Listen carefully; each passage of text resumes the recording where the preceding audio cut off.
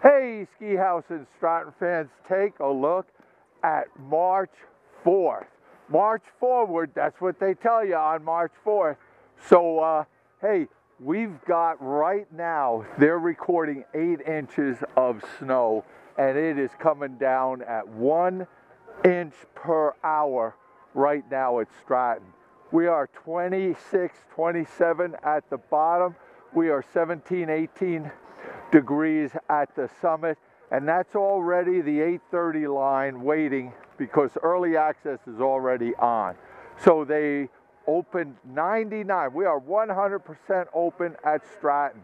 66 trails are groomed, but it's coming down on top. So you're going to get two to three, maybe four inches of snow on the groomed stuff. So, uh, and it's not the lightest snow in the world, but it's not Sierra Crud. So stop by Ski Haus, get tuned, get fitted. Hey, all the lifts were running. Right now I see Gandhi is not running. So uh, maybe the wind up top is doing something.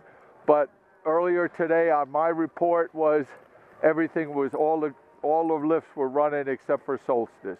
So stop by Ski Haus, get tuned, get fitted, and then make a beeline because the winter is still humming at Stratton.